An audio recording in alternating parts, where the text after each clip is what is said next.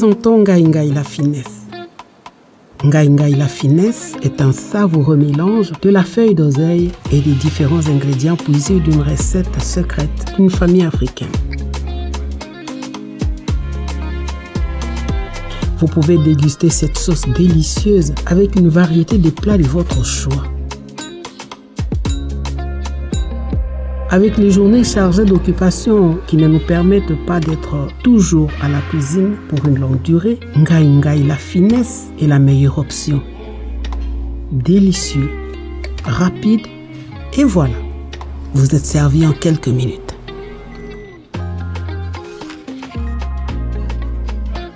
Ngai la finesse apporte la joie dans nos familles.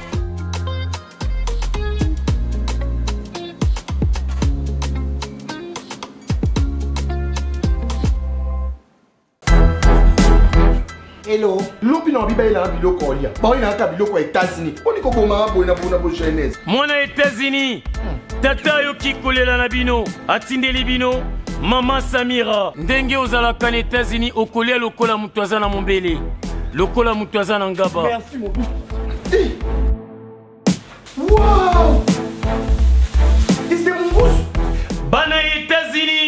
kolia bio ekomi lolenge na bino. Mpo na kozwa mbisi ya kokauka to mpe mafuta ya mbila. Chez mama samira. Ata ozali na posa ya mbinzo ndakala mayebo safu ezali mpe bitoyo. Chez mama samira mansoma azali eloko moko te yo koluka okomona te na ndenge mabe te mpo na kozwa biloko ya detail yoka numero numero 938 avenue maurice na new york. Adresse ya entrepôt 12 40 avenir randol dans les banques. Tala yo kobanda koteka mbisi ya kokauka mongusu mafuta ya mbila ekokoma lokola bazoka na yo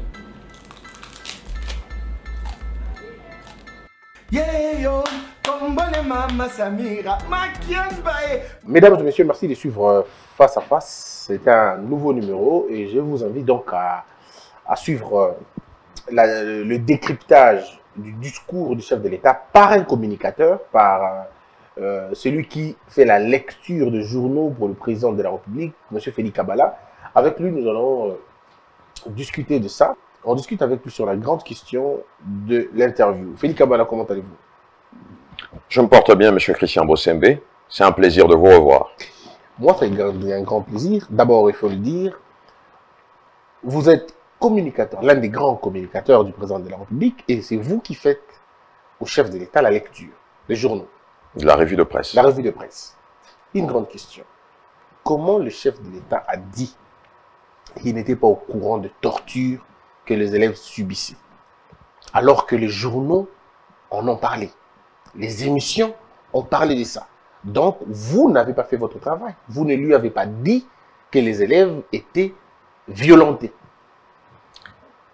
Tout d'abord, je vous remercie, euh, Monsieur Bossembe, pour euh, cette opportunité après euh, un temps assez long, on ne s'est plus vu, on n'a plus échangé euh, pour euh, essayer d'apporter les éléments de langage auprès de euh, l'opinion publique. Je vais droit au but. Le président de la République, c'est la personne la mieux informée de la République.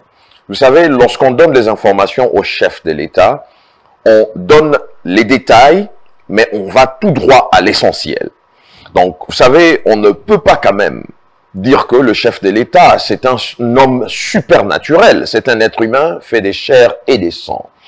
Si dans les détails de ce que ses élèves lui ont euh, placé devant comme élément euh, d'information et ne venait qu'en complémentarité de ce que lui avait comme euh, information auprès des services, il n'y avait pas quelque chose pour euh, laquelle on doit tous s'étonner. Le chef de l'État est un homme très honnête, très sincère, parce que euh, avec sa présidence, il essaye de faire passer un message, une communication à il n'était pas l'opinion au courant publique. de la violence des élèves, alors que c'est ça l'effet principal. Il était au courant de la violence, de ce que subissaient ses élèves.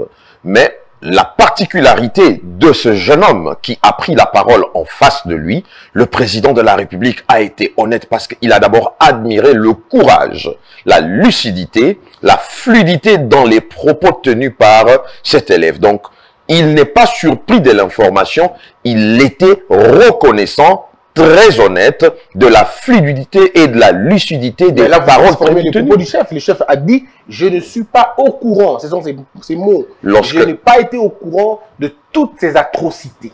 Lorsque- Alors, comment un président de la République peut ignorer des faits aussi graves? Donc, c'est pourquoi nous disons que c'est vous qui n'avez pas joué votre rôle.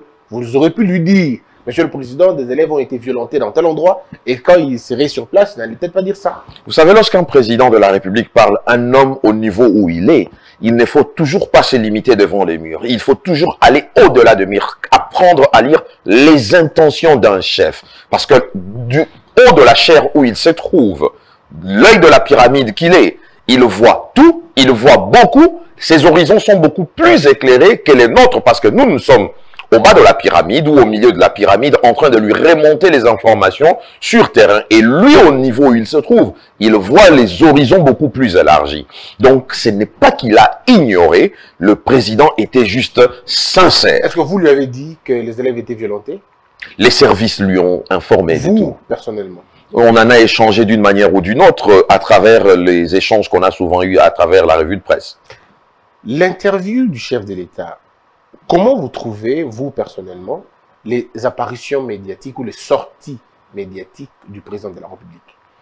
Euh, satisfaisante parce que c'est un homme honnête, correct, sincère dans ses propos et euh, ses propos ne doivent pas être considérés ou euh, expliqués ou mal compris parce qu'il y a trop de malentendus. On les sort souvent hors de leur contexte, mais nous sommes là pour essayer d'éclairer la lanterne Mais parce vous venez en y a retard généralement. Vous venez en retard. J'ai jamais vu, comme je l'ai dit dans Oui. une des émissions, le seul président dans le monde que moi j'ai vu qui, après avoir fait des discours, après avoir fait des, des interviews, il n'y a pas des plateaux spéciaux, ah ben c'est le président Félix Tshisekedi. Jamais des, des, des, des, des services après qui, comment on dit, Services dans le langage, après-vente. Oui, dans le langage euh, de Commercial. vente commercial. Service après-vente, il n'y a jamais. Il dit des choses et puis c'est comme ça et puis personne ne vient essayer de contextualiser le, le- le propos. Pourquoi vous ne le faites pas? Bon, vous savez, Monsieur Bossembe, je serai très honnête envers vous à ce sujet. Il faut comprendre le contexte dans lequel nous euh, nous nous retrouvons. On a aujourd'hui à la tête de la direction, la cellule de la communication, un nouveau directeur, en la personne de Eric Nindou. qui ne maîtrise absolument rien. Non, je ne suis pas d'accord avec vous. Ben Euh, alors, vous le je- faites. Moi, je le dis en termes, qu'on fait un constat. Non, je ne le suis constat, pas. Je ne suis pas d'accord avec vous Même à parce que même à l'IDPS, même les présidents, comment, comment ils les appellent encore, les parlementaires debout, tout le monde fustige les comportements, disons le silence du directeur de communication, du président, qu'on considère de, je ne vais pas dire des termes assez choquants, mais on dit simplement qu'il ne maîtrise absolument rien. On se pose la question, comment est-il arrivé là?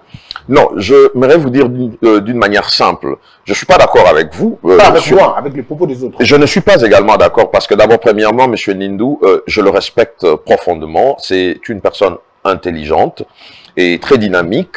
il déploie énormément des efforts que vous ne pouvez pas voir, que d'autres personnes ne peuvent pas voir. Nous qui travaillons avec lui, nous connaissons également les Ah, efforts il qu'il en déploie fait. un effort, des efforts à l'interne, en fait. Non, parce que la personne vient à peine d'être nommée. Et la structure de la communication du chef de l'État est en pleine restructuration.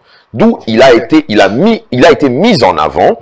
Et c'est une personne à qui il faut donner le temps parce que incessamment, je dis bien incessamment, c'est vrai que vous vous plaignez qu'il n'y a pas de service après-vente, le chef de l'État communique, après il n'y a pas euh, des plateaux, euh, de, plateaux organisés euh, pour contextualiser ce que le chef de l'État met en avant comme communication dans son action.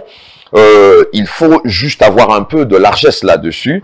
Euh, Ce n'est pas que c'est fait exprès, ça se prépare Il et il le maîtrise. Mm. Eric, Eric c'est Nindou. Est-ce qu'Eric Nindou, Oui, parce que moi je suis pas, j'ai pas besoin d'être méchant avec lui, de toute façon je n'envie pas son poste. Je oui. suis ni preneur ni demandeur en tout cas. Seulement je me dis, est-ce que Monsieur Nindou, tel qu'il est là, est-ce Ouais. qu'il a déjà rencontré le président de la République? Oh, bien sûr. Combien de fois l'a-t-il rencontré? La fréquence c'est combien de temps? Parce qu'on a comme l'impression qu'il ne comprend, il ne maîtrise rien du chef de l'État. Non, pas du tout. Il, d'abord, vous savez, aujourd'hui, la communication est vaste et diversifiée. Oui. On peut communiquer avec le chef de l'État par téléphone, à travers les réseaux sociaux, en l'occurrence WhatsApp, un appel téléphonique ou par SMS, un texto. On peut communiquer avec le chef de l'État en présentiel, face à face. Bien entendu, en respectant le- les gestes barrières, parce que nous sommes en période Covid. Donc, euh, M. Nindou rencontre le président des temps à autres, De temps temps en temps. Est-ce que Monsieur Nindou connaît la pensée du chef de l'État? Parce que, Philippe Kabbalah, la grande question que je me pose, comment les gens ont fait pour vendre Kabila, qui était pour plusieurs personnes un mauvais produit, un faux produit? Mais les gens l'ont vendu et l'ont fait accepter aux gens. Mais comment ceux de la communication du président ont du mal à vendre un produit aussi pur, aussi bien comme ça? Comment c'est difficile de vendre un produit bien comme Félix Tshisekedi? Lui déjà qui se défend bien, qui parle bien, son niveau est connu, tout le monde connaît. Mais comment la communication a du mal à vendre Félix Tshisekedi? Vous savez, j'aimerais vous dire une chose. Je parlais de restructuration de la cellule de communication du chef de l'État, dont Eric Nindou en est la tête aujourd'hui en tant que Est-ce directeur pas de lui la qui devait communication. restructurer d'abord avant de restructurer la communication Non, je ne pense pas. Je ne pense pas. Peut-être que vous ne l'avez pas encore pleinement découvert avec dans ses capacités. Non, mais c'est dans ses actions que je Non, vois. mais non, mais il vient de l'État... euh, Il a été nommé il n'y a même pas, il n'y a même pas quatre mois, il n'y a même pas trois mois. En un mot, on peut faire mieux, vous savez. Je sais qu'en un mois on peut faire mieux, mais il faut aussi comprendre le contexte dans lequel il est arrivé, là où il est. Donc il a trouvé quoi comme euh, outil à sa disposition Il a trouvé quoi comme situation Est-ce qu'il a les Donc, moyens de ça il, a, il devait d'abord avoir le temps de s'acclimater avec l'environnement, connaître qui est qui, qui fait quoi et comment mettre en avant certaines compétences, certaines qualités individuelles de certaines personnes en avant et comment collaborer avec eux et avoir les moyens de faire la politique de la communication du chef de l'État. Félix Kabbalah. Est-ce que le président a déjà été rodé sur des questions des interviews? Parce que c'était- c'est quelqu'un qui aime le média. Depuis qu'il était opposant, il aimait bien les médias. C'est quelqu'un qui parlait très bien. Mais vous savez qu'il y a une communication quand on est président de la République et quand on est opposant. Mhm. Maintenant, le problème, est-ce que le chef de l'État a déjà eu des séances d'encadrement, des séances de coaching pour communiquer dans ses interviews, comme on a vu avec Obama, comme on a vu avec Poutine, comme on voit avec d'autres présidents Est-ce qu'il a des services de coaching comme ça? Si oui, qui les coach dans les interviews, par exemple? Je parlerai plutôt de séances de briefing.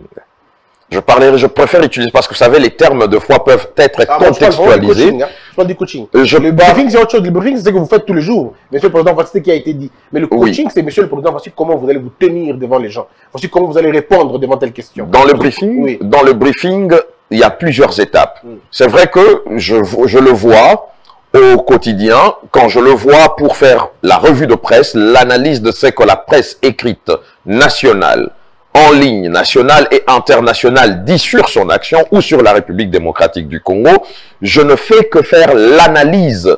Je donne d'abord les éléments de langage de ces médias et je donne aussi mes analyses à moi. Ça fait partie aussi d'un briefing. Alors, au niveau où il est, parce que je signalais ici que c'est comme une pyramide.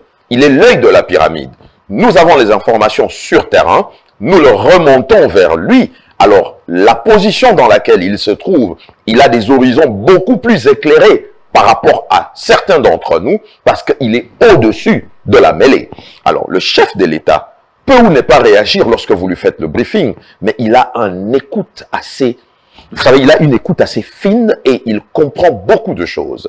Et pour le cas d'espèce, j'aimerais vous dire ici, avant cet entretien de la RTNC, euh, en collaboration avec Top Congo de Christian Lusakweno, je vous garantis, j'étais moi-même à Goma, j'étais dans la résidence, j'ai eu mon entretien avec lui, aussitôt après avoir eu mon entretien avec le chef de l'État, c'est le ministre de la Communication, Patrick Mouyaya, que je salue en passant, avec le directeur Eric Nindou, qui ont eu à voir un échange communicationnel avant cet échange sur la RTNC avec le chef de l'État pendant une quinzaine à, entre 15 à 20 minutes.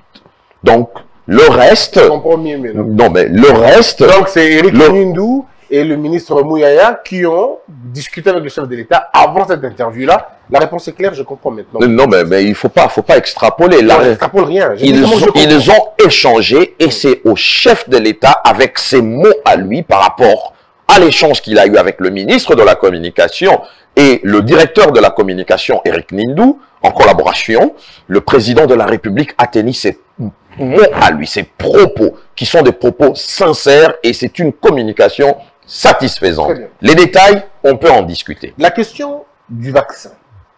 Ce vaccin a un nom compliqué, un peu comme lui-même, le vaccin AstraZeneca, tout ça. AstraZeneca. AstraZeneca.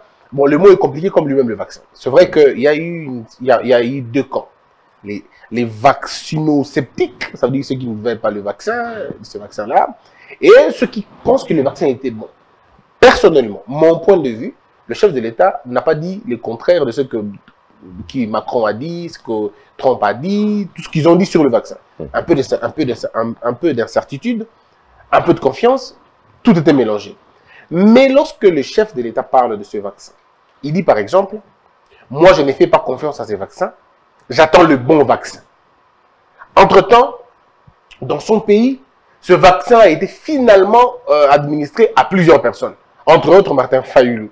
Et les gens de l'ECD ont même dit que nous prenons le chef de l'État à témoin. S'il il arrive quelque part, il arrive un malheur à ça, ça sera res- lui les responsables. Bref, ça c'était peut-être pour blaguer. Mais comment vous avez compris le propos du chef de l'État en fonction du vaccin? Je, vous, je signale ici que moi, ça ne me gêne pas parce que j'ai déjà expliqué la question. Mais vous, en tant que communicateur, est-ce que le chef de l'État était obligé de parler de lui personnellement? Premièrement, le vaccin AstraZeneca est un vaccin reconnu au standard international. Nous sommes d'accord, vous et moi. Très bien. Vu le fait que le vaccin AstraZeneca est reconnu au standard international et qu'elle participe aux différentes campagnes de vaccination dans plusieurs nations de cette planète, on doit lever l'équivoque quelque part. Le président de la République est un fervent défenseur de la vaccination et on doit contextualiser le temps. Le président de la République n'a pas dit qu'il n'avait pas confiance au vaccin AstraZeneca. Il avait dit j'avais raison. D'ailleurs, j'avais raison voudrait dire quoi? Nous devons, vous savez, placer cela dans le temps et dans l'espace. Lorsque le vaccin, le vaccin AstraZeneca, qui a été autorisé par le Centre de contrôle de maladies et de prévention africain, AstraZeneca, par euh, le, le processus COVAX, euh, euh, le processus COVAX, ça a été accepté par toutes les nations d'Afrique. Ce vaccin, lorsqu'il a commencé à être utilisé, a posé des problèmes au niveau européen, parce que le premier problème, on les a signalés au niveau du continent européen. Alors, ce problème se passait juste au niveau d'un- d'une certaine catégorie de personnes d'un certain âge qui développaient euh, euh, plusieurs pathologies au contact de ce vaccin. Il y a eu des cas de thrombose où euh, les gens ont eu des problèmes d'arrêt cardiaque, mais vous savez, ça n'a pas remis en cause l'efficacité du vaccin, raison pour laquelle l'avis scientifique a été mis en avant et les scientifiques ont confirmé l'efficacité du vaccin. Quand on reste sur la- euh, le vaccin AstraZeneca, certes c'est un problème de logistique à travers euh, certains pays partenaires avec lesquels euh, AstraZeneca est censé fournir ce vaccin, mais dans la réalité, c'est vrai que les, euh, les- ceux qui sont contre la vaccination, qui ont peur de la vaccination, ça a créé un scepticisme à travers la planète, et en l'occurrence au niveau des Africains, des populations, pas au niveau des responsables, au niveau des Mais populations. faut comprendre quand il dit qu'il a créé un nouveau vaccin. Maintenant, le, la vaccination en soi n'est pas une obligation, mais une recommandation. Une obligation, c'est comme payer les impôts. Une vaccination par rapport à une pandémie qui a surgi lorsqu'on ne savait pas qu'elle devait surgir, il y a ce qu'on appelle des recommandations des autorités à eux d'organiser des campagnes de vaccination. Mais alors, le libre choix d'un individu de se faire vacciner ne peut pas être une imposition d'un individu vis-à-vis d'un groupe d'autres individus. D'où le président de la République, en parlant, j'avais d'ailleurs raison, par rapport au temps, situons-le dans le temps, il parle bien, c'est bien conjugué. J'avais. Il ne dit pas j'ai raison. Il ne parle pas au présent. Il parle au passé. J'avais. C'est par rapport à ce que AstraZeneca, dans les complications de certains cas, qui, l'on avait remarqué, c'est la raison pour laquelle le président de la République a parlé, j'avais raison, pourquoi? Parce que pour le président de la République, nous devons quand même avoir en tant que nation, parce que c'est lui qui protège le Congolais, c'est le chef de l'État, le premier citoyen d'entre nous tous. Pour lui, nous devons avoir la diversité des vaccins. Nous avons AstraZeneca, nous avons Pfizer, nous avons Johnson Johnson, nous avons Moderna et tant d'autres. Parce qu'aujourd'hui, supposons que AstraZeneca allait en rupture de stock et que les gens s'est vaccinés et qu'il y en a plusieurs d'autres qui ne sont pas vaccinés qui vont recontracter la maladie, qu'est-ce qui va arriver à la nation le chef de l'État est Donc c'est la raison pour laquelle le chef de l'État... marché Mais bien Il sûr. ouvre le marché pour tout le monde. Donc tout le, tout- tous ceux qui ont des vaccins peuvent venir, le, peuvent venir ici au Congo, c'est ça? Mais ça, ça doit être coordonné. Ça ne se fait pas en désordre. C'est une nation. En plus, il est le président de l'Union africaine.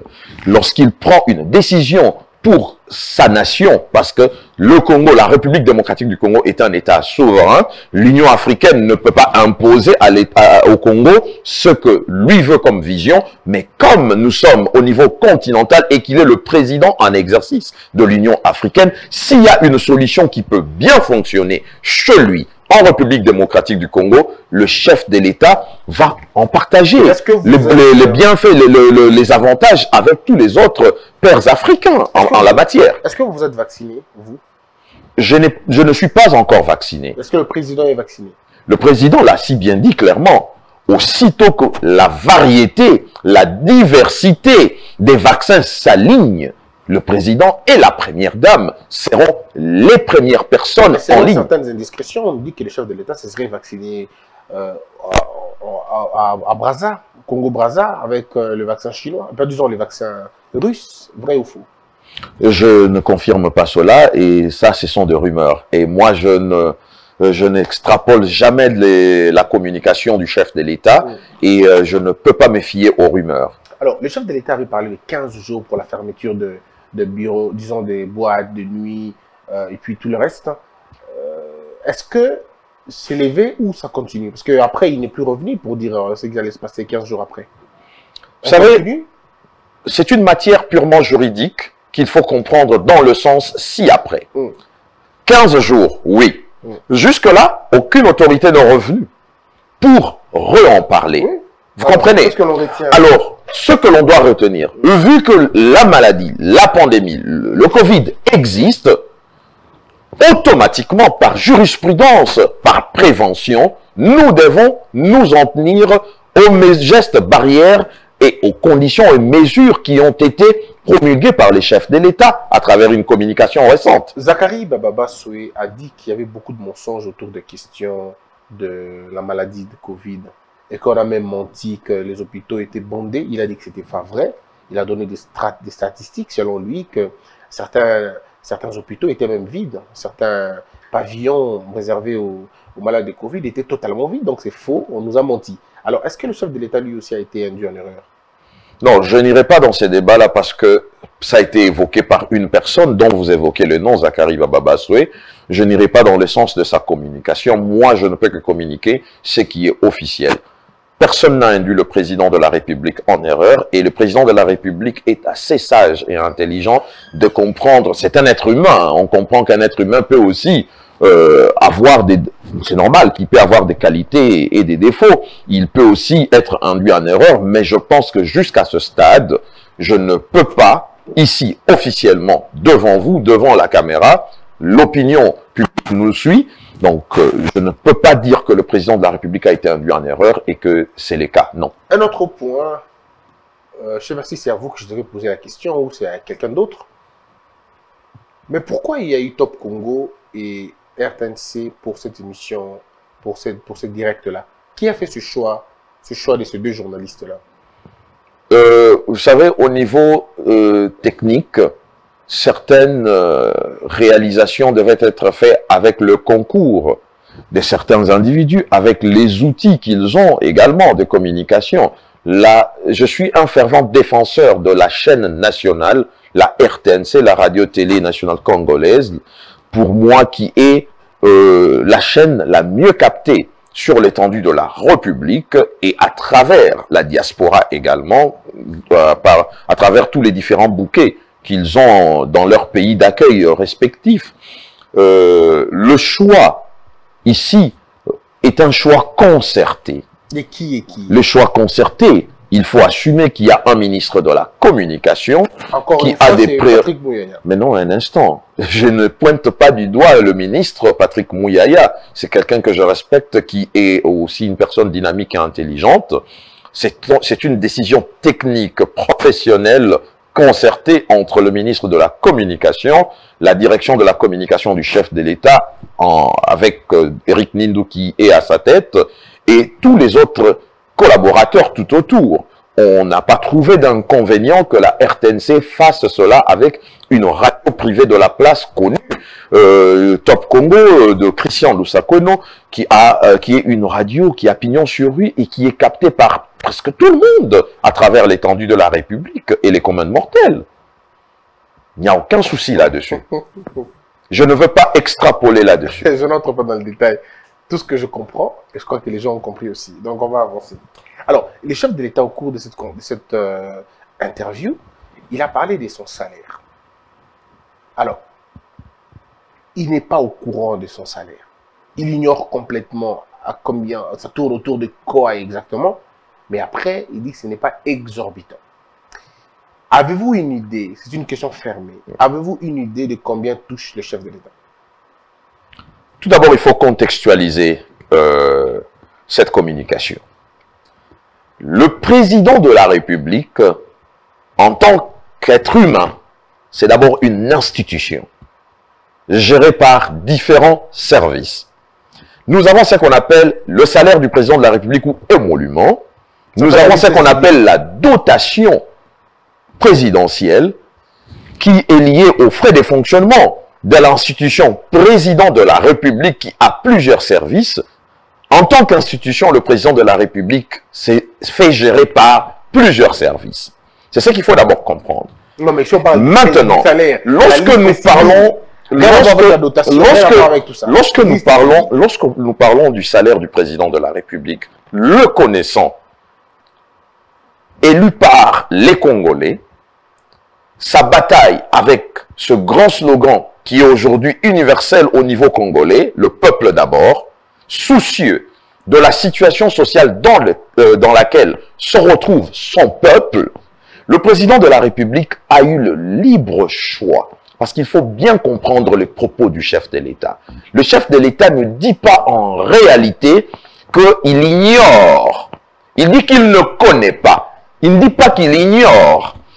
Vrai que les gens peuvent dire que c'est la même chose. ne pas Et oui, il, il dit qu'il ne connaît pas parce que quand vous regardez la situation sociale dans laquelle son peuple se trouve, le combat qu'il est en train de mener, pour arriver d'abord à amorcer l'effectivité de bénéfices sociaux dont ce peuple doit être bénéficiaire à son niveau, je m'engage dans ce que je suis en train de dire.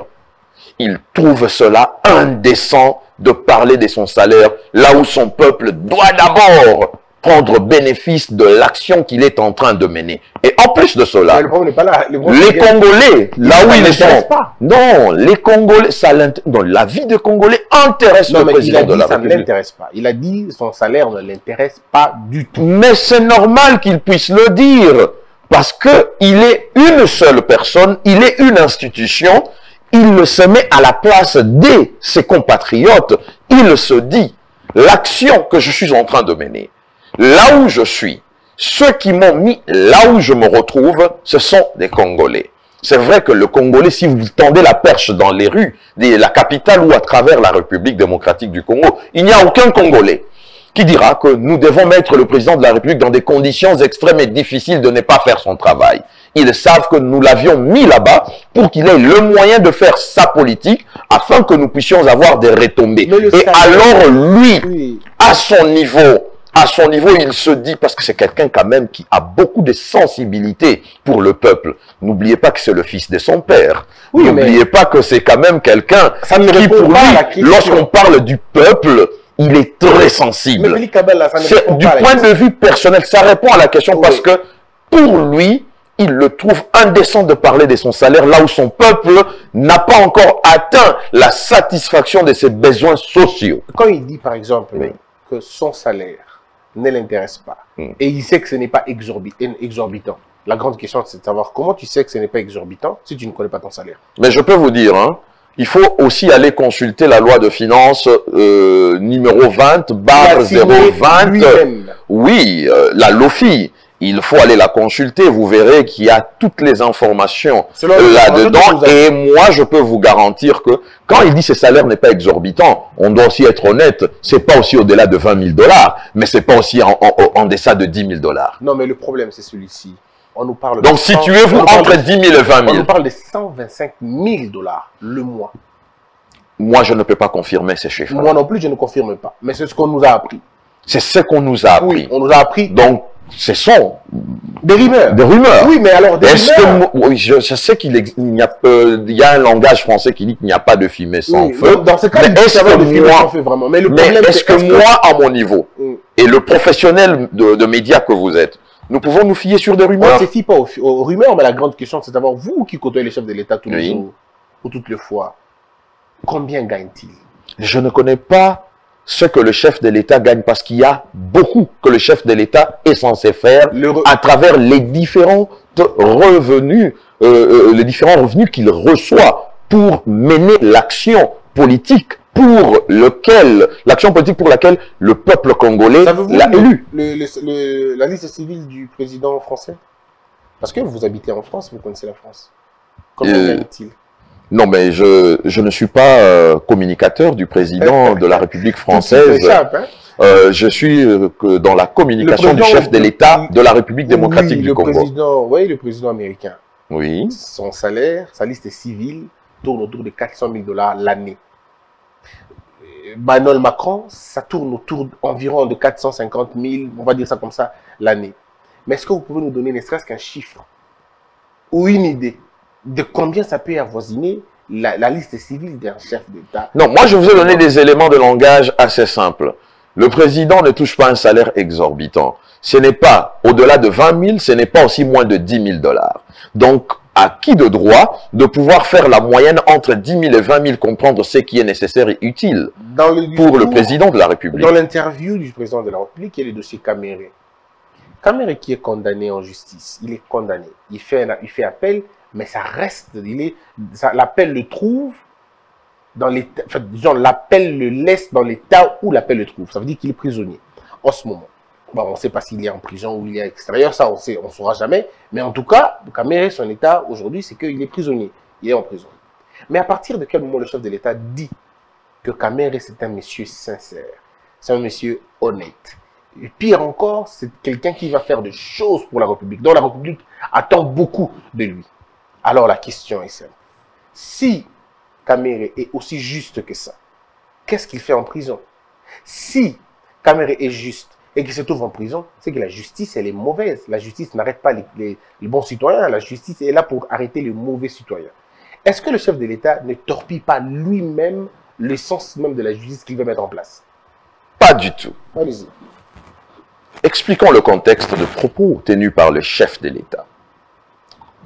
Du point de vue individuel, même moi qui vous parle, je compatis à la douleur qui est celle de la famille de l'ancien directeur du chef de l'État, M. Vital Caméré, pour qui j'ai beaucoup d'estime et de respect. Vous savez, ce n'est pas facile, et pour sa famille euh, biologique, pour lui-même, là où il se retrouve, et également pour sa famille politique. Je compatis. Mais vous savez, la rigueur de la loi, les principes qui sont celles de la justice que le président de la République lui-même, en étant un fervent défenseur de l'indépendance de cette justice, il vous l'a dit même dans cette interview, il ne peut pas lui-même violer ses principes à lui. Il veut que cette justice ne puisse point être instrumentalisée. Alors maintenant, dissocions les choses.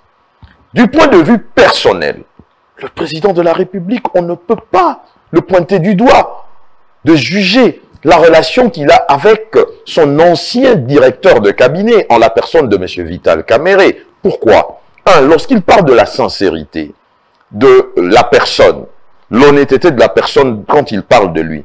Mais ils ne se sont pas connus en étant au pouvoir, ils se sont connus avant le pouvoir. M. Vital Caméré a dit qu'il allait s'effacer pour que le président de la République brigue son mandat en tant que chef de l'État. L'a-t-il fait? Oui. Est-il honnête? Oui. Est-il correct? Oui. Qu'est-ce qu'il a fait? Est-ce que... Attends, facile mais attends, c'est simple. Non, mais c'est facile comment Vidal Camara avait quelle chance d'être président de la République? Devant Félix Mais attendez, il ne faut pas Mais attendez, attendez. Ça, c'est vous. évidence, non? Non, mais ça, c'est une évidence. Il est leader d'un parti politique. Oui, mais après, il y a combien de leaders Il politiques? était potentiel candidat Il était candidat. à la présidence de la République dans le processus électoral de 2018. Ouais, Ok ouais. Il s'est effacé. Comment ça effacé? Il s'est effacé parce qu'ils se sont mis ensemble avec euh, euh, l'UDPS. L'UNC et l'UDPS se sont mis ensemble. Oui. Vous comprenez? Oui. on, leur regardait aussi les têtes de ces deux partis. Oui. Félix Tshisekedi d'une part pour l'UDPS et M. Vital Kamere de l'autre pour l'UNC. Alors, lorsque une personne qui a des ambitions présidentielles s'efface, se met ensemble avec celui qui a aussi les mêmes ambitions que lui, pour que l'autre puisse prendre les devants, parce qu'il a plus de chances vis-à-vis de lui, c'est d'abord l'honnêteté. C'est être correct. Vous comprenez? Je suis un fervent défenseur de l'action du chef de l'État. Je ne peux pas accepter qu'on torpille le propos du chef de l'État en lieu public tant que j'ai encore cette force. mais C'est défendez que je suis en train de défendre.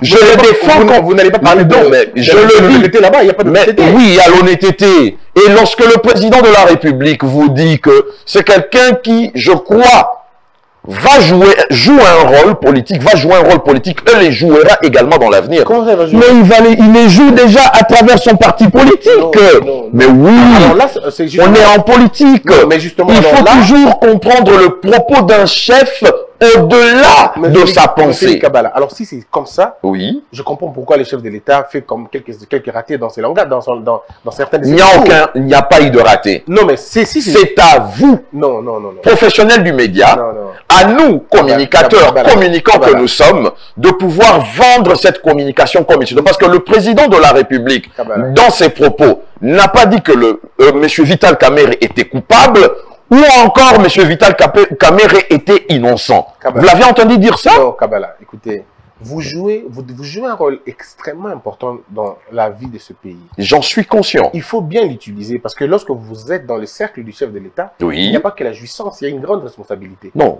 pas des jouissances. hein. Oui, il y, a, il, y a, il y a une très grande responsabilité. C'est vrai, c'est- une fierté d'être à côté du chef de l'État. C'est une très grande fierté. Moi, à votre place, je serais très heureux de jouer ce rôle-là. Oui, Mais il faut aussi percevoir l'idée que c'est une responsabilité historique énorme. exact. Vous ne pouvez pas, vous, Oui. considérer le chef de l'État comme un supra-homme, c'est-à-dire comme quelqu'un qui ne... Non, qui je ne l'ai pas dit. hein. Au- début, a- de, au début de notre échange, je le dis, hein, ce n'est pas un homme Oui, supernaturel, le chef je de le dis. l'État est un panier généralement vide, que l'on met des choses à l'intérieur. Le chef de l'État, c'est la vitrine d'un pays. Alors, il y a des choses... Non, il faut dire, l'institution président de la République est un panier Oui. pour lesquels, lorsque le peuple décide, choisit qui il veut et met dedans. et l'homme devient institution. Non, non, moi, je Il est suis de institutionnalisé. dire, Je suis pas dans ce sens. Non, mais je suis en train, Oui. je, je vous donne l'approche politique. Non, non, ça, c'est votre approche. C'est une explication logique. C'est la vôtre. Moi, je vous dis ceci. Vous savez, Félix Kabala qui est là, il y a des choses que vous pouvez dire aujourd'hui parce que vous n'êtes pas encore président. Mais le jour où vous devenez président, il y a des choses que vous ne dites plus. Exact. Parce que tout simplement, ça peut rentrer en contradiction avec ce que vous faites vous-même. Nous, avons dans un, nous sommes dans un pays, Relevez-moi la contradiction, monsieur. la séparation de pouvoir. Mais le président l'a dit. Je vous en... Réécoutez très bien, monsieur Bossembe. Vous êtes un professionnel de médias. entendu. Et je sais que vous suivez mot à mot et vous savez comprendre entre les lignes ce que le président a dit. Et le président a dit clairement. Lorsqu'il dit c'est un homme de valeur, un homme sincère.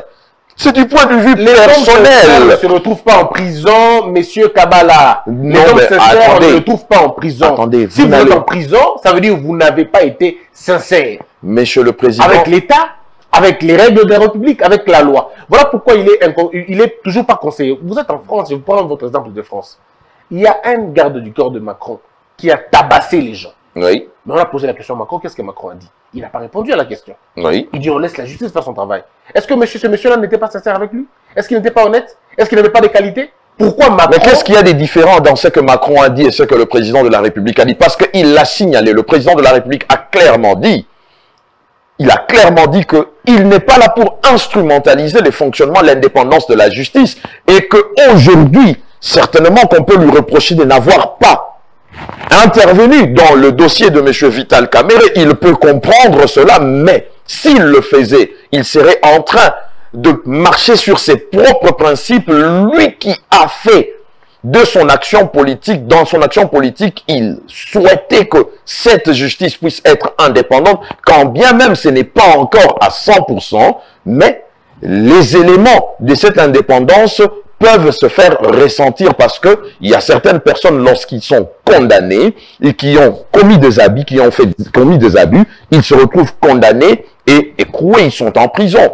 La le cas de la personne de M. Vital Kamere, la justice a pris une décision pour laquelle le président de la République n'a pas à trouver à redire parce que c'est une décision de la justice et que cette justice a été a fonctionné d'une manière indépendante tout au long de cette instruction, mais vous n'allez aussi pas priver cet homme qui est être humain fait des chairs et des sangs de pouvoir exprimer ses sentiments personnels vis-à-vis de la personne. Le président de la République n'a jamais stigmatisé la personne de Vital pour- Il respecte les valeurs que cet homme a toujours dégagées dans le passé, le présent, le futur. Nous serons justement- la réalité. C'est- ça, c'est ça notre plus grand problème.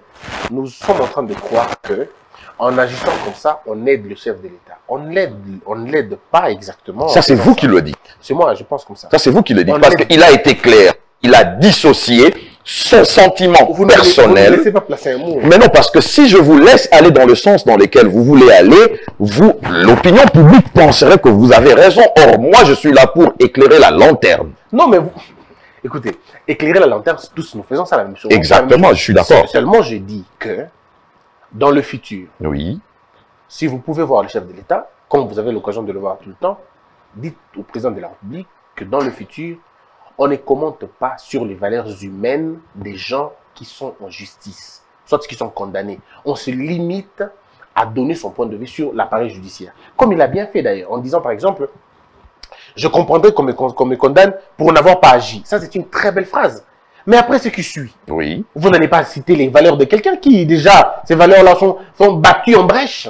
C'est comme quelqu'un qui a tué, je prends l'exemple, quelqu'un qui a violé sa fille et tue sa fille, et, vous, et on, on le condamne vous... Allez-vous tenir ces propos face aux militants de l'UNC Quel militant de l'INC quand ils disent que Kamer, selon eux, est innocent Mais on s'en contrebalance. Mais sont non. les militants de l'INC Ils sont des Congolais. Alors Alors ils sont Ils congolais. sont Congolais. Tout, ça s'arrête là. Ils sont, Ils sont Congolais, oui, ça s'arrête comme Oui, tout le mais monde. la justice fait son boulot, ça s'arrête là. Là, ça fait son travail. Aviez-vous vu le militant de l'UNC aller violenter les institutions pour qu'on puisse sortir Kamer d'où il est?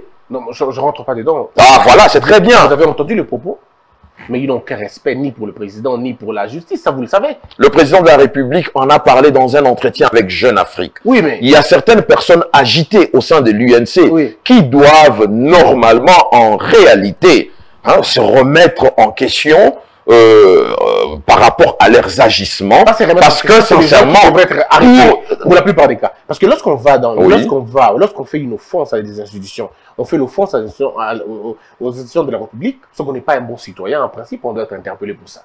Quand on, quand on instrumentalise les gens, on les pousse à la rébellion, on les pousse à même à aller, à aller à l'encontre des décisions judiciaires, alors moi, je- j'estime que c'est très grave. Étions-nous devant, euh, euh, étions-nous devant un fait accompli? Quel fait accompli? Je ne pense pas. Nous n'étions pas devant un fait accompli, alors on ne va pas quand même se mettre à arrêter les, per- euh, les, les- les compatriotes congolais à tout bout de champ parce qu'ils ont émis un propos, un point de vue, Alors, une si opinion. c'est comme ça que vous concevez la démocratie, je suis bien désolé. On arrivera un jour où un monsieur va gifler le chef de l'État, parce que c'est la démocratie, il peut s'exprimer, il peut dire ce qu'il veut. On arrivera un jour à ça, si c'est comme ça. Vous voyez la France, la France est en train de payer toutes ces faiblesses de la démocratie. Ce qui se passe en France ne peut jamais se passer aux États-Unis, jamais de la vie. Ça n'arrivera jamais. Mais ça, arrive en France parce que les gens se permettent de tout, parce qu'au nom de la démocratie, ainsi de suite. Bon, ça Et quel est le travail de la justice lorsque des abus pareils arrivent? Mais quel travail de la justice lorsque vous dites que la justice arrête les hommes sincères et les hommes honnêtes? Ça, ça, ça rime à quoi Mais non, attends, le président de la République n'a pas dit que M. Vital Kamerhe était innocent ou coupable. J'ai dit honnête et mal. Honnête Le président de la République a eu un jugement personnel par rapport à sa relation avec l'homme. Je dis bien l'homme, Félix, Parce que l'individu. tu ne me laisses pas Pas par rapport. Je te pose une question. Oui. Vous, tel que vous êtes là, Oui.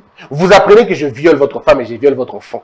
Vous avez dit que je suis sincère Non, le contexte est différent. différent Le contexte est En différent. quoi il est Vous comprenez, il est En différent. quoi il est différent Il ne faut pas comparer ce qu'il ne faut pas comparer. Quoi comme quoi Mais de toutes les façons, Il y a une décision judiciaire. une décision judiciaire Oui. que le président n'a pas remis en cause. Mais bien évidemment. alors- L'a-t-il remis en cause? Non, mais s'il dit que les gens sont sincères, le monsieur là est sincère, alors que le monsieur là est en prison pour des faits Vous me direz que Maître Kabengela, si je ne me trompe pas, l'avocat, l'un des avocats de M. Vital Kamerhe, en brandissant la vidéo du chef de l'État, en pleine instruction, en, pre- euh, en première instance, quand le président tenait certains propos à travers un certain discours, est-ce que cela avait empêché la justice de prendre quand même la décision de condamner M. Vital Kamerhe en première instance pour un 20 ans? Ce n'est pas là qu'on est. On n'est pas De là. prison? Non, la question elle se pose. Non, pas.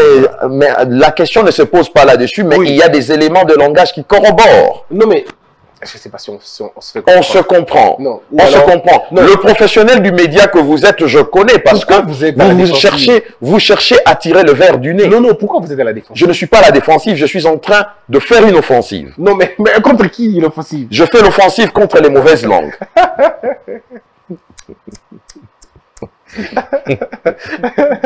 Félix Kabala, en fait, toujours dans la même cour. Ce qui n'est pas mauvais d'ailleurs. Bien Moi, sûr. je pense humblement Oui. que le chef de l'État aurait pu, aurait pu dire mieux que ce qu'il a dit là. Et je comprends. C'est aussi possible. Je vous n'avez pas tort. Je comprends. Qu'il aurait pu aussi dire mieux. Mieux que ça. Mais Je comprends. attendez, je ne suis pas dans la tête du chef de l'État, dans ses pensées, pour lui dire ce qu'il doit prononcer comme Mais mot. voilà pourquoi je dis qu'il fallait qu'il y ait des, travaux, des travaux, des, des travaux des- euh, je veux dire un travail assez fort. De coaching De coaching. de, de, de- de- important. Mais ça a été fait. Oui. Je vous ai dit que le ministre, le ministre Patrick Mouyaya. Je comprends. Non. Je comprends, non, il mais- il faut féliciter les efforts de ces deux personnes. Quel hein. effort? J'étais témoin, j'étais présent.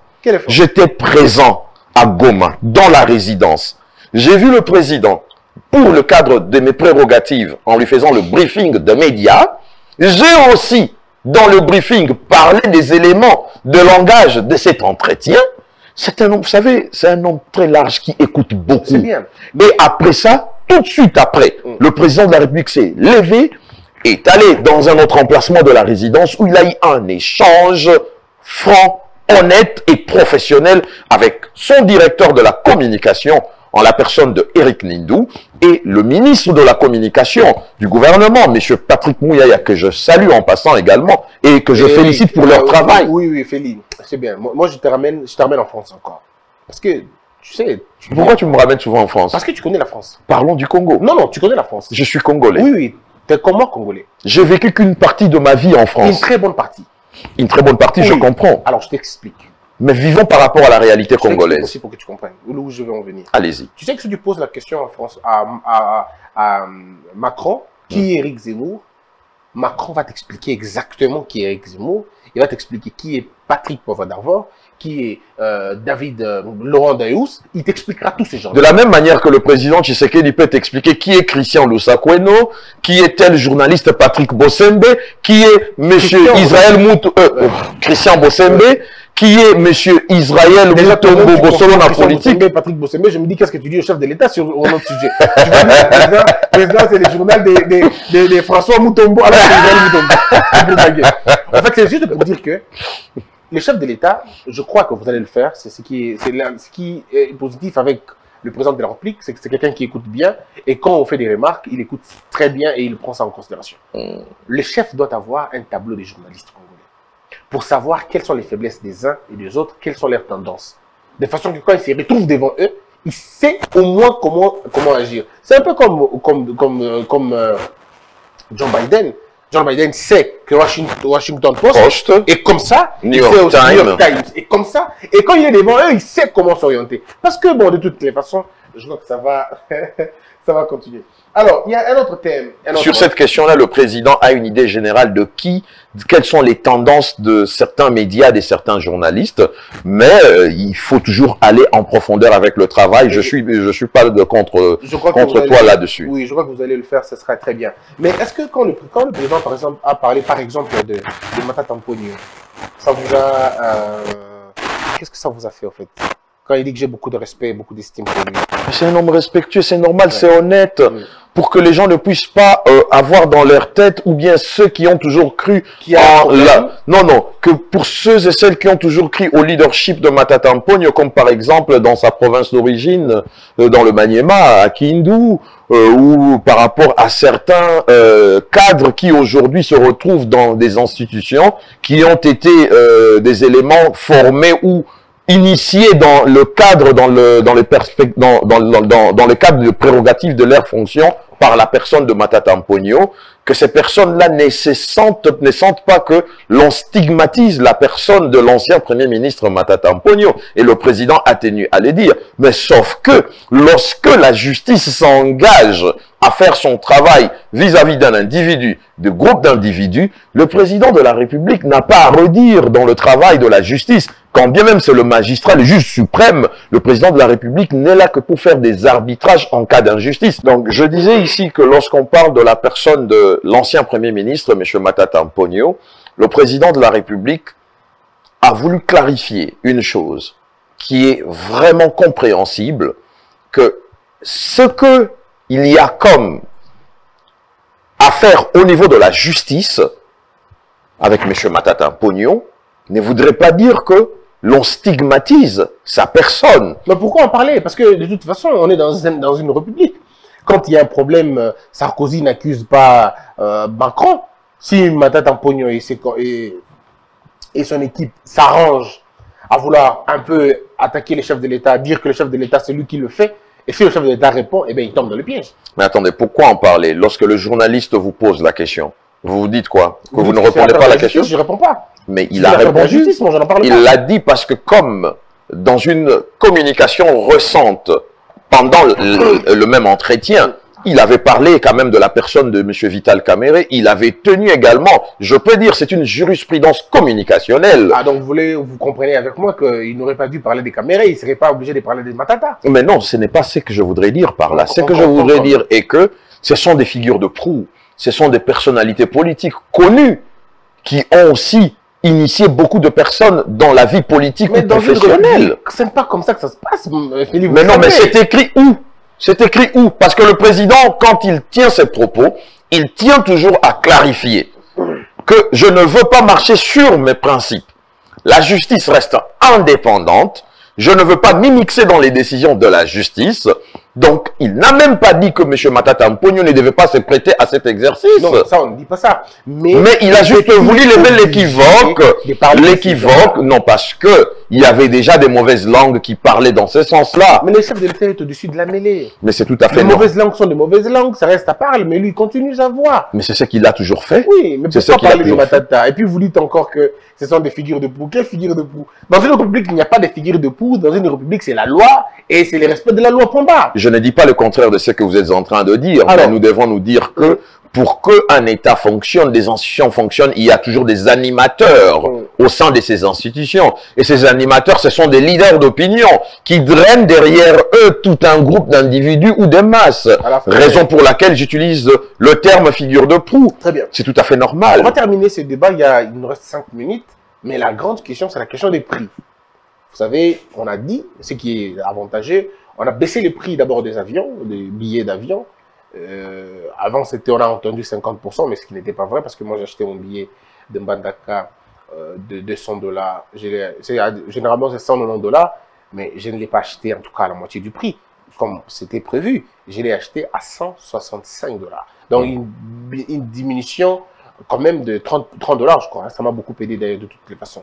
Mais puis après, j'ai appris que ça allait être maintenant à 113. Et puis après, quand je vais à l'aéroport, on me dit non, non, c'est pas 113, c'est pas encore d'application. Tu payes à 165 et je le fais. Est-ce que c'est. Et puis après, on apprend les prix de Piodi, les prix de tout ça, de tout ça. Est-ce que c'est une promesse? Est-ce que c'est une vision qui va être euh, finalement matérialisée ou c'est du concret? On est déjà en train de le voir. Je serai beaucoup plus réaliste sur cette question. Le président de la République revient de Goma, où il est allé poser les jalons de pouvoir renforcer les capacités de ces généraux, c'est-à-dire ces officiers qu'il a mis en avant pour la guerre sécuritaire qu'il y a à l'Est. Nous avons remarqué une certaine accalmie, si cela continue dans la même tendance, nous aurons, des, nous aurons des résultats escomptés. Nous sommes dans le banc. Le président de la République revient à l'ouest, à l'ouest où nous avons le centre des institutions. Il trouve une forme de guerre sociale qui veut commencer entre le tenant du pouvoir, l'État, et les privés. Les privés, en l'occurrence la FEC, la Fédération des entreprises congolaises. Pas dans le mauvais sens. Cette guerre sociale, si l'on met en pratique les mesures du gouvernement, vu la vision du chef de l'État, à travers le slogan Le peuple d'abord, sachez-les très bien, que tout le monde sera gagnant là-dedans. Parce que le président de la République ne veut pas mettre mal à l'aise, ou le gouvernement ne voudrait pas mettre mal à l'aise les privés, les entreprises, les entrepreneurs, les grands patrons. Non, c'est pas ça l'objectif. Mais lorsque nous regardons la misère dans laquelle le peuple congolais croupit, le faible pouvoir d'achat que le Congolais a, ce que le panier de la ménagère représente aujourd'hui, le gouvernement a pris ses responsabilités, est allé là où il, fallait, pour relever les éléments nécessaires de cette communication qu'on a eue sur, un, la baisse des prix des billets d'avion domestiques, deux, sur le, certains produits de première nécessité sur le bien surgelé. Dans ces mesures, l'on ne vise pas de casser le profit de la FEC ou des entreprises réunies au sein de la FEC. On vise une négociation pour avoir un compromis afin de mettre en avant un résultat qui va bénéficier au panier de la ménagère, qui va booster le pouvoir d'achat du peuple. Alors, qui est celui-là? Qui peut se tenir debout face à une vision pareille, dire que l'on tente d'imposer par le gouvernement les prix là où on ne connaît pas la réalité. Mais attendez, c'est du concret parce que c'est fait pour amener nos amis de la FEC à la table des négociations. Et à cette table des négociations, le résultat qui y ressortira sera pour le bénéfice et le profit des Congolaises et Congolais, parce que ça sera d'une manière ou d'une autre renforcer le pouvoir de cha- de- d'achat de Congolais, renforcer la capacité du panier de la ménagère. C'est le peuple d'abord. Aujourd'hui, est-ce que vous soupçonnez euh, l'ancien régime ben, Je sais que vous ne répondrez jamais à cette question, mais bon, j'y vais quand même. Soupçonnez-vous l'ancien régime d'avoir des tentacules au niveau du monde des affaires pour bloquer les choses, euh, exagérer les prix, pour mettre mal à l'aise l'action du chef de l'État Je ne veux pas stigmatiser. Ça, c'est d'abord euh, la première réponse. Deuxièmement, c'est nous qui sommes dans l'action du pouvoir. Nous n'allons pas à tout moment revenir sur le passé. Parce qu'il y a eu, dans l'application de certaines mesures ou de la loi, soyons honnêtes, certaines largesses qui n'auraient pas eu, eu lieu. D'où, ayant remarqué que ces largesses ne profitaient pas au commun du mortel qui est le peuple congolais, le président de la République, dans sa vision qui est de pouvoir changer les niveaux de vie des Congolaises et Congolais, que je peux résumer comme le grand slogan universel congolais qu'on appelle le peuple d'abord, à travers l'action du gouvernement mené par euh, le Premier ministre, son Excellence Samalou Kondé, le ministre de l'économie a fait un travail remarquable pour arriver à une décision comme on est en train de euh, la vivre, la décision actuelle. D'où il est question que les grands patrons viennent autour de la table parce que les appels ont été lancés en amont de cette mission que le ministre de l'économie avait diligentée auprès des fournisseurs où se fournissent, où s'approvisionnent le grand patron, les grands importateurs. Et les réalités ont été épatantes, raison pour laquelle le gouvernement a pris ses responsabilités, a donné des indications. Ces mesures, ce sont des indications. Parce que nous allons arriver, parce qu'il faut bien dire aux Congolais, parce qu'il y a une mauvaise conception de l'information.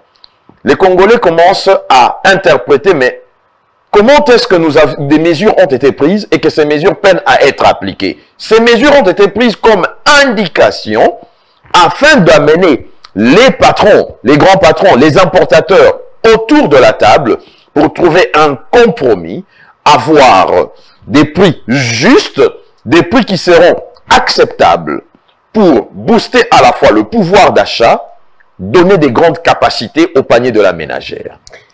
Aujourd'hui, qu'est-ce qu'on retient? On va se lever. Qu'est-ce qu'on retient de cette interview? Est-ce que vous vous rappelez aussi d'une inter d'une interview que vous avez faite sur France 24 où les gens vous avez terriblement euh, condamnés, euh, jugés Mhm. Aujourd'hui, euh, est-ce que vous avez appris de cette interview-là des choses aussi? Bon, je vais être très honnête. Vous savez, je vais l'utiliser comme étant une équipe de football. Vous savez, une grande équipe comme Barcelone ou Real de Madrid, lorsque vous êtes en train de jouer, il y a 11 acteurs sur le terrain de football.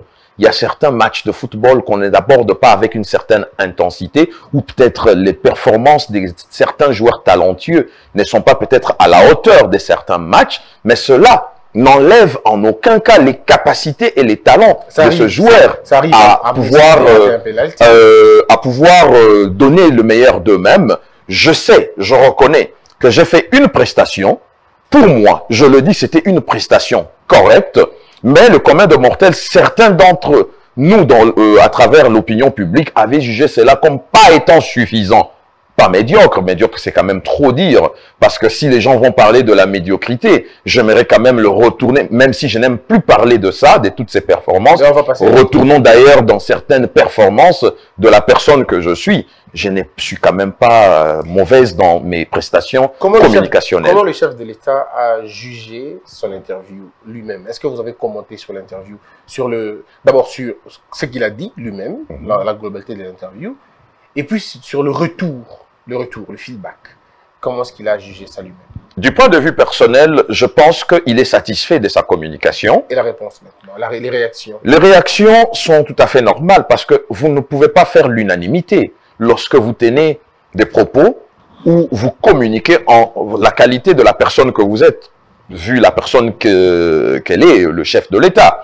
D'où, euh, moi, je pense qu'en tant que service de communication, notre travail est toujours de passer derrière, après toute action du chef de l'État, qu'il ait communiqué ou pas. Parce que vous devez savoir, quand le chef parle, c'est une communication.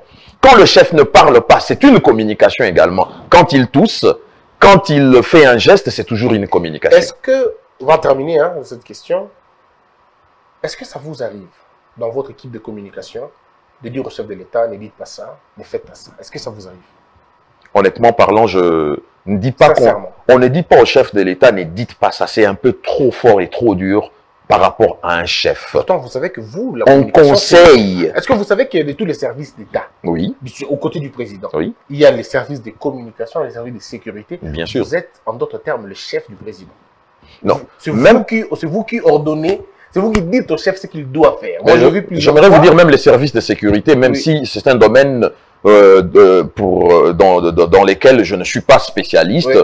mais je ne pense pas en la personne du conseiller spécial en matière de sécurité, euh, que je salue en Papa passant, François. Papa François Béat, euh, je ne pense pas qu'il dit au chef de l'État, ne fais pas ça, ne fais pas Mais ça. est-ce que vous savez Il conseille Non, mais c'est ça, au chef de l'État par rapport à son Mais c'est expertise. la C'est la même chose avec nous en tant que service de communication. Nous conseillons au chef de l'État ce que nous avons comme élément de langage à mettre Et en avant. Non, mais le chef de l'État, c'est pas un dictateur. hein. Non, mais non, je dis s'il refuse. Il aime, il aime des, des, des, échanges- des échanges francs. Mais Félix Kabbalah. Mais comment, sa- comment saurais-je que le chef de l'État refuse quelque chose tant qu'il s'est mis Félix, dans l'exercice de ce que nous lui avons donné comme Félix- conseil? Félix Kabbalah, est-ce que vous savez que vous avez le pouvoir de dire au chef de l'État, vous n'allez pas mettre cette veste bleue, vous allez mettre plutôt la rouge? Est-ce que vous savez que vous pouvez dire au chef de l'État, ces, ces lunettes, vous n'allez plus les mettre, vous allez plutôt mettre ça? Est-ce que vous savez que les services de sécurité peuvent dire au chef de l'État, vous ne prenez pas l'avion Disons, vous, vous- c'est fini, la marche à pied est finie, montez dans la voiture. Et ça s'arrête là. Et ça s'arrête là. Vous savez, euh, l'expression du pouvoir euh, doit être euh, cette expression doit être relative Oui. par rapport au pouvoir qu'exerce un chef de l'État. Je n'ai pas de pouvoir au-dessus du chef de l'État. Nous n'avons pas de pouvoir au-dessus du chef de l'État. Il doit y avoir une certaine élégance lorsque vous parlez Oui, à un bien sûr, chef. mais ça là. Et dans Euh, cette élégance-là, nous ne nous permettons pas d'aller au-delà. Mais nous disons ce qui est à faire dans la rationalité. Et l'avantage, ça je dois le dire, vous avez le meilleur président qui puisse exister dans le monde. Un président qui écoute. C'est pas facile. Il y en a plusieurs aussi, comme lui. En hein. tout cas, moi, je n'ai pas vu quelqu'un de... Mais en ce qui me concerne, Depuis en ce qui nous commencé- concerne, Depuis qu'on a commencé de à tous les présidents, c'est le meilleur président. Alors, ça n'engage que moi et comme ça engage aussi les collaborateurs Mais- mais du chef de l'État. Profitez de ça. euh, Mais nous faisons, Kabbalah, nous faisons, nous faisons au maximum de nos capacités. Alors, si c'est ça, le résultat, ben, c'est compliqué quand même. hein. Mais non, pas du tout. Parce que vous savez, la perfection n'est pas l'art que lui-même maîtrise à 100%. Très bien. Est-ce que vous êtes senti à l'aise dans cette émission? Très à l'aise. Pas dérangé? Je ne suis pas dérangé. Je ne vous ai pas provoqué. Mon travail est de répondre à vos questions. Mesdames, Mesdemoiselles et Messieurs, c'était un grand plaisir. Ça en est fini aujourd'hui avec Félix Kabbalah. Je rappelle qu'il est, c'est lui qui fait la revue de presse du président de la République, qui est dans l'équipe de communication. On se retrouve très prochainement. Que la peur quitte nos esprits et que Dieu bénisse la RDC. Vous êtes particulier, vous êtes patron d'une PME, PMI, voire d'une plus grosse société ou même alors d'un groupe international.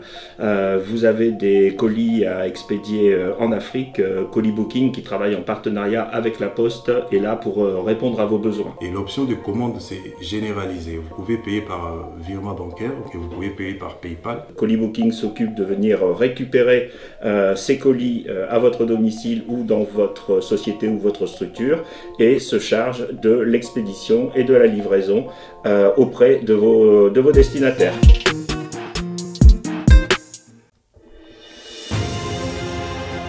Avec son personnel hautement qualifié, Global Service vous propose des services de qualité à un temps record.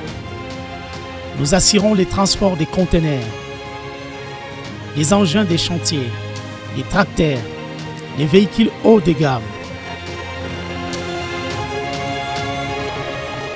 et diverses marchandises partout dans le monde et plus particulièrement en République démocratique du Congo. Dans le domaine immobilier, Global Service vous facilite le processus d'achat immobilier aux États-Unis. Nos bureaux sont prêts à vous recevoir partout dans le monde. Aux USA, à Kinshasa, en Afrique du Sud et même en Chine. Global Service vous propose des services de qualité à un temps record.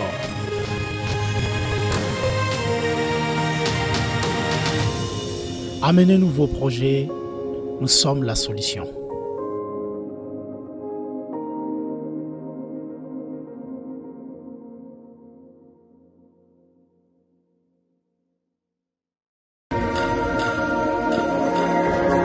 Suis Narcisse Katompa, CEO de Narsix Water, une entreprise de purification et de distribution d'eau basée aux États-Unis. Je suis titulaire d'un master en finance et une spécialité en assurance gestion des risques. Narsix Water est une eau électrolyte d'une source artésienne à San Antonio, État du Texas. Elle est dotée d'un pH de 9.5 et contient des minéraux capables de traiter les déchets organiques acides du corps et de maintenir un pH équilibré dans le sang comme dans le corps.